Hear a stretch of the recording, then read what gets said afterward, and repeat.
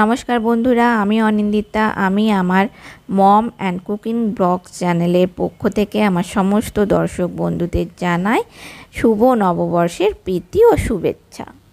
আমার চ্যানেলটা যারা সাবস্ক্রাইব করেছ, তাদেরকে অসংখ্য ধন্যবাদ জানাই।